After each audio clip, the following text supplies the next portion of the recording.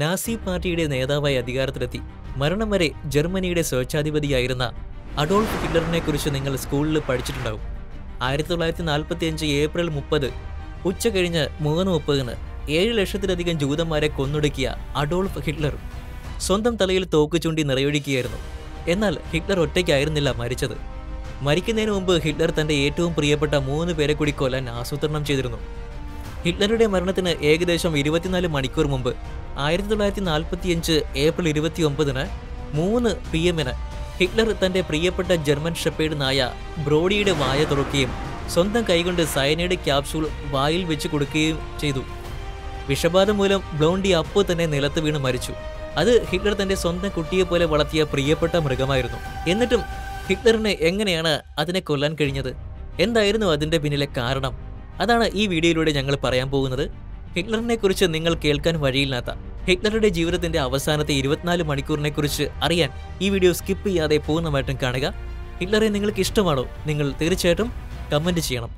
എല്ലാവർക്കും fats express Malayalam ചാനലിലേക്ക് സ്വാഗതം. നിങ്ങൾ ചാനൽ ആദ്യമായിട്ട് കാണുന്ന ആളാണെങ്കിൽ ഞങ്ങളുടെ ഈ ഫാമിലിയുടെ ഭാഗമാകാനും ഇൻട്രസ്റ്റിംഗ് വീഡിയോസ് കാണാനും വേണ്ടി ചാനൽ സബ്സ്ക്രൈബ് ചെയ്യുക. സത്യത്തിൽ ഹിറ്റ്ലർ ആത്മഹത്യ എന്ന കടുത്ത നടപടി സ്വീകരിക്കാൻ ആഗ്രഹിച്ചിരുന്നില്ല. എന്നിട്ടും അദ്ദേഹം അതിന് തയ്യാറാക്കേണ്ട സാഹചര്യമുണ്ടായി. ഇതിന് പിന്നിൽ രണ്ട് പ്രധാന കാരണങ്ങളുണ്ടായിരുന്നു. ആദ്യത്തേത് ഹിറ്റ്ലർ ആ സൈനഡിന്റെ വിഷബാധയെക്കുറിച്ച് പരിശോധിക്കുകയായിരുന്നു. കാരണം ഇരുപത്തിനാല് മണിക്കൂറിന് ശേഷം ഹിറ്റ്ലർ തന്റെ ഭാര്യ ഇവ ബ്രോണിന് ആ സൈനഡ് കൊടുക്കാൻ പോവുകയായിരുന്നു. രണ്ടാമത്തെ കാരണം ഹിറ്റ്ലർ അധികം വൈകാതെ പരാജയപ്പെടാൻ പോവുകയായിരുന്നു. സോവിയറ്റുകളോ ബ്രിട്ടീഷുകാരോ അമേരിക്കക്കാരോ തന്നെ ബന്ദിയാക്കാൻ അദ്ദേഹം ആഗ്രഹിച്ചിരുന്നില്ല. തന്റെ മരണശേഷം ആരും തന്റെ നായയെ പരിഹസിക്കുകയോ ശല്യപ്പെടുത്തുകയോ ചെയ്യരുത് എന്ന് അദ്ദേഹം ആഗ്രഹിച്ചിരുന്നു. അതുകൊണ്ടാണ് അദ്ദേഹം ആദ്യം ബ്ലോണ്ടിയുടെ ജീവനെടുത്തത്. അതിനുശേഷം അദ്ദേഹത്തിന്റെ നാല് നായക്കുട്ടികളെയും പൂന്തോട്ടത്തിലേക്ക് കൊണ്ടുപോയി. നിറഞ്ഞ കണ്ണുകളോടെയും വിറയ്ക്കുന്ന കൈകളോടും കൂടി അവർക്ക് നേരെ വെടിവെച്ചു. ഹിറ്റ്ലർ ആ നായകൾക്കൊപ്പം പലപ്പോഴും കളിക്കാറുണ്ടായിരുന്നു. അതേ തോട്ടത്തിൽ തന്നെ എല്ലാ നായ്ക്കളെയും കുഴിച്ചിടുകയും ചെയ്തു. എന്തിനാണ് ഹിറ്റ്ലർ നായ്ക്കളെ കൊന്നതെന്ന് നിങ്ങൾക്ക് മനസ്സിലായി കാണുമല്ലോ? പക്ഷേ എന്തിനാണ് ഹിറ്റ്ലർ തന്റെ ഭാര്യ ഇവാ ബ്രോണിനെ കൊന്നതെന്ന് നിങ്ങൾക്കറിയണ്ടേ? ഹിറ്റ്ലർക്ക് തന്റെ മരണം അടുക്കാറായെന്ന് അറിയാമായിരുന്നു. എന്നിട്ടും മരിക്കുന്നതിന് മുമ്പ് അദ്ദേഹം എന്തിനാണ് വിവാഹം കഴിച്ചത്? തന്റെ പ്രിയപ്പെട്ട ഭാര്യയെ വിഷം കൊടുത്ത് കൊലപ്പെടുത്തിയത് എന്തുകൊണ്ടാണ്? ഈ കാര്യങ്ങൾ മനസ്സിലാക്കാൻ നമ്മുടെ ഹിറ്റ്ലറുടെ മരണത്തിന് ഏതാനും മണിക്കൂറുകൾ പിന്നോട്ട് പോകേണ്ടതുണ്ട്. ഏകദേശം നാൽപ്പത് മണിക്കൂർ മുമ്പ് ഇരുപത്തൊമ്പത് ഏപ്രിൽ പന്ത്രണ്ട് മണിക്ക് ഇവാ ബ്രൗൺ നീണ്ട കറുത്ത വസ്ത്രവും ഡയമണ്ട് വാച്ചും വൃത്താകൃതിയിലുള്ള ബ്രേസ്ലെറ്റും ടോപ്സ് നെക്ലേസും ധരിച്ച് അവളുടെ കിടപ്പുമുറിയിൽ ഇരിക്കുകയായിരുന്നു. പതിനെട്ട് വർഷത്തെ കാത്തിരിപ്പ് അന്ന് സഫലമാകാൻ പോവുകയായിരുന്നു. ഇവയ്ക്ക് പതിനഞ്ച് വയസ്സുള്ളപ്പോൾ മുതൽ ഹിറ്റ്ലറെ ഇഷ്ടമായിരുന്നു. മുപ്പത്തിമൂന്നാമത്തെ വയസ്സിൽ ഹിറ്റ്ലർ അവളുടെ ആഗ്രഹം സാധിച്ചു കൊടുത്തു. എന്നാൽ ഇവയ്ക്ക് പതിനേഴ് വയസ്സുള്ളപ്പോൾ ഹിറ്റ്ലർ അവളുടെ പ്രണയം സ്വീകരിച്ചിരുന്നു. അതിനുശേഷം വർഷങ്ങളോളം അവർ ആ പ്രണയം നിലനിർത്തി. ഇരുവരും തമ്മിൽ അങ്ങനെ ഒരു ബന്ധമുണ്ടെന്ന് പോലും പൊതുജനങ്ങൾ അറിഞ്ഞിരുന്നില്ല. താൻ എവിയെ വിവാഹം കഴിച്ചുവെന്ന വാർത്ത പുറത്തു വന്നാൽ ജർമ്മനിയിലുടനീളമുള്ള തന്റെ ജനപ്രീതി കുറയുമെന്നും തന്റെ പദ്ധതികൾ തകരുമെന്നും ഹിറ്റ്ലർ വിശ്വസിച്ചിരുന്നു. അതുകൊണ്ട് തന്നെ ഇന്ന് അകന്നു നിൽക്കാൻ ഹിറ്റ്ലർ അവളോട് ആവശ്യപ്പെട്ടിരുന്നു. എന്നാൽ ഇവയും ഹിറ്റ്ലറും രണ്ട് വ്യത്യസ്ത കിടപ്പുമുറികളിലാണ് കഴിയുന്നതെന്നും ആ രണ്ട് കിടപ്പുമുറികൾക്കുള്ളിലെ രണ്ട് കുളിമുറികൾ ഒരു പൊതുവഴിയിലൂടെ പരസ്പരം ബന്ധപ്പെട്ടിരിക്കുകയാണെന്നും ഹിറ്റ്ലറുടെ ചില ഉദ്യോഗസ്ഥർക്ക് അറിയാമായിരുന്നു. ഹിറ്റ്ലർ ഇവയുടെ മുറിയിലേക്ക് ചായ കുടിക്കാനും വൈകുന്നേരം സംസാരിച്ചിരിക്കാനുമെല്ലാം അതിലൂടെ പോവാറുണ്ടായിരുന്നു. ഇവയെക്കുറിച്ച് ഓർത്ത് ഹിറ്റ്ലർ പലപ്പോഴും അസ്വസ്ഥനാകാറുണ്ടായിരുന്നു.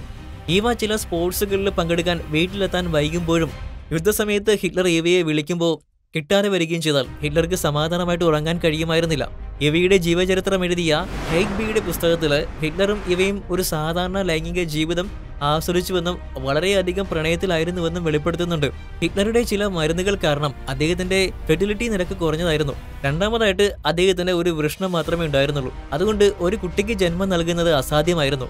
എന്തുകൊണ്ടാണ് ഹിറ്റ്ലർക്ക് തന്റെ ഭാര്യയ്ക്ക് വേണ്ടി സമയം ചെലവഴിക്കാൻ കഴിയില്ലെന്ന് തോന്നിയത് എന്നാണ് ഇനി പറയാൻ പോകുന്നത്. അക്കാലത്ത് റഷ്യ ഹിറ്റ്ലറിൽ ആധിപത്യം സ്ഥാപിക്കാൻ ശ്രമിക്കുകയായിരുന്നു. എന്നതാണ് യാഥാർത്ഥ്യം. അദ്ദേഹത്തിന് ഒരിക്കലും അവരുടെ സേനയുടെ ആക്രമണത്തെ ചെറുത്തു നിൽക്കാനോ ആക്രമിക്കാനോ കഴിയുമായിരുന്നില്ല. അതുകൊണ്ടാണ് മരിക്കുന്നതിനെക്കുറിച്ച് മാസങ്ങൾക്ക് മുമ്പ് ഇവ അവളുടെ മുറിയിലെ വിവാഹത്തിന് വേണ്ടി തയ്യാറെടുത്തത്. ഈ സമയത്ത് ഹിറ്റ്ലർ ഒരു കുറിപ്പ് വായിക്കുകയായിരുന്നു. കുറച്ച് നിമിഷങ്ങൾക്കുള്ളിൽ താൻ തന്റെ ഉറ്റ സുഹൃത്ത് ഇവയെ വിവാഹം കഴിക്കുമെന്ന് ഹിറ്റ്ലർ അതിൽ വെളിപ്പെടുത്തുകയായിരുന്നു. ഏപ്രിൽ മുപ്പതിന് ഇരുവരും സ്വന്തം ഇഷ്ടപ്രകാരം മരിക്കാൻ തീരുമാനിക്കുകയും ചെയ്തു.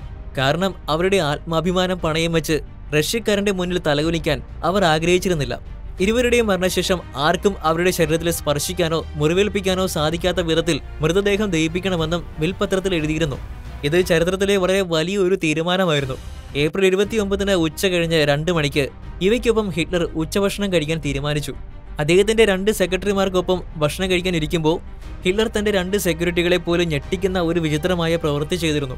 ഭക്ഷണത്തിന് കൂടെ ഇരിക്കാറുണ്ടായിരുന്ന അദ്ദേഹത്തിന്റെ സെക്രട്ടറിമാർ ഭക്ഷണം കഴിക്കുമ്പോൾ ഗൗരവമുള്ള വിഷയങ്ങളൊന്നും സംസാരിക്കരുതെന്ന് ഒരു നിയമം ഉണ്ടായിരുന്നു. എന്നാൽ അന്ന് ഹിറ്റ്ലർ തന്നെ ഈ നിയമം ലംഘിച്ച് ഗൗരവമായിട്ട് സംസാരം തുടങ്ങി.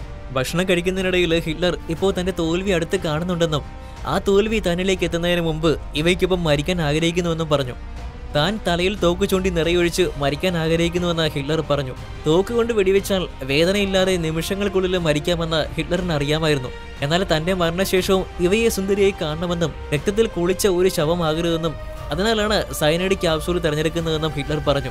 തുടർന്ന് രാത്രി ഒരു മണിക്ക് ഹിറ്റ്ലർ ഇവയെ വിവാഹം കഴിച്ചു. വിവാഹത്തിന് ശേഷം രാത്രി രണ്ടരയോടെ ഹിറ്റ്ലർ ഒരു മദ്യവിരുന്ന് സംഘടിപ്പിച്ചിരുന്നു.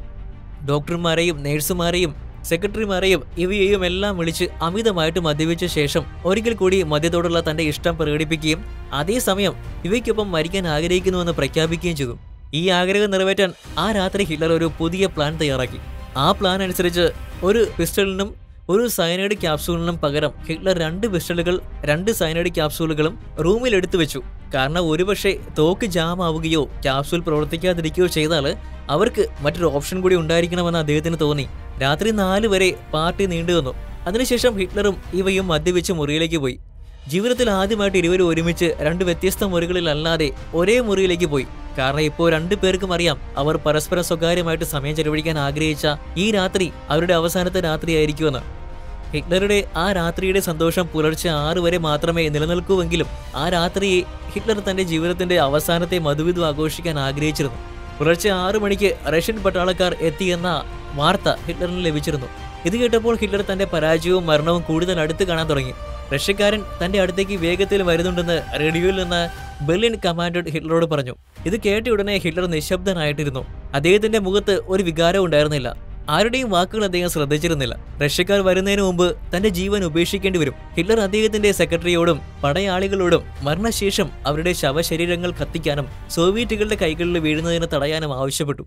അവസാനമായിട്ട് പന്ത്രണ്ട് നാൽപ്പത്തിയഞ്ചിന് അദ്ദേഹം തന്റെ സൈനികരോട് വിട പറയാൻ പോയപ്പോൾ ഹിറ്റ്ലർ തന്റെ എല്ലാ സൈനികർക്കും ഹസ്തദാനം നൽകി. നന്ദി പറഞ്ഞിരുന്നു. റഷ്യക്കാർ തന്നെ പിടികൂടി ദ്രോഹിക്കാതിരിക്കാൻ വേണ്ടി ആത്മഹത്യ ചെയ്യാൻ ആഗ്രഹിക്കുന്നുവെന്ന് ഹിറ്റ്ലർ പറഞ്ഞു. നിങ്ങളും അവരുടെ പീഡനങ്ങൾക്ക് ഇരയാതിരിക്കാൻ വേണ്ടി മരിക്കാൻ ഹിറ്റ്ലർ ആവശ്യപ്പെട്ടു. അത് പറഞ്ഞ ഉടനെ ഹിറ്റ്ലർ നിശബ്ദനായി. തുടർന്ന് സൈനികരുമായിട്ട് കൂടിക്കാഴ്ച നടത്തിയ ശേഷം തന്റെ ജീവിതത്തിലെ അവസാനത്തെ ഉച്ചഭക്ഷണം കഴിക്കാൻ ഹിറ്റ്ലർ ഡൈനിങ് ടേബിളിലെത്തി. ഇത്തവണ ഹിറ്റ്ലർ തനിച്ചായിരുന്നു ഭക്ഷണം കഴിച്ചത്. വരണ്ട മുഖത്തോടെ ഹിറ്റ്ലർ നിശബ്ദമായി ഭക്ഷണം കഴിക്കുമ്പോൾ ഇവ തന്റെ മരണവസ്ത്രങ്ങൾ തിരഞ്ഞെടുക്കുകയായിരുന്നു. ഹിറ്റ്ലറുടെ പ്രിയപ്പെട്ട വെളുത്ത റോസാപ്പൂക്കളുള്ള ഒരു കറുത്ത വസ്ത്രം ഇവ തിരഞ്ഞെടുത്ത് അവൾ ഒരുങ്ങാൻ തുടങ്ങി. കുറച്ചു സമയം കഴിഞ്ഞു. അവസാനമായിട്ട് ഒരു തവണ കൂടി ഇരുവരും തങ്ങളുടെ ജീവിതത്തിന്റെ അവസാന ശ്വാസം എടുക്കാൻ ഒരുങ്ങി. ഉച്ച കഴിഞ്ഞ മൂന്ന് മണിയോടെ ഇവയും ഹിറ്റ്ലറും ഒരുമിച്ച് മുറിയിലേക്ക് പ്രവേശിച്ചു. അതിനുശേഷം ഏതാനും നിമിഷങ്ങൾക്കുള്ളിൽ മുറിക്ക് പുറത്ത് നിന്നിരുന്നവരെല്ലാം വെടിയൊച്ചകൾ കേട്ടു. മുറിക്ക് പുറത്ത് നിന്നിരുന്ന എല്ലാ സൈനികരും ആകെ തളർന്നിരുന്നു. മൂന്ന് നാൽപ്പതാകുന്നത് വരെ ആരും അനങ്ങുകയോ ഒന്നും പറയുകയോ ചെയ്തില്ല. എന്നാൽ അവർക്ക് ഹിറ്റ്ലറുടെ അവസാന ആഗ്രഹം നടപ്പാക്കേണ്ടി വന്നു. ഹിറ്റ്ലറുടെ സ്പെഷ്യൽ പോലീസുകാർ ഹിറ്റ്ലറുടെ മുറിയിലേക്ക് പോയി. ഇരുവരുടെയും മൃതദേഹങ്ങൾ അവിടെ വെച്ച് എടുത്ത് കൃത്യം മൂന്ന് അമ്പതിന് മൃതദേഹങ്ങൾ പെട്രോൾ ഒഴിച്ച് കത്തിച്ചു.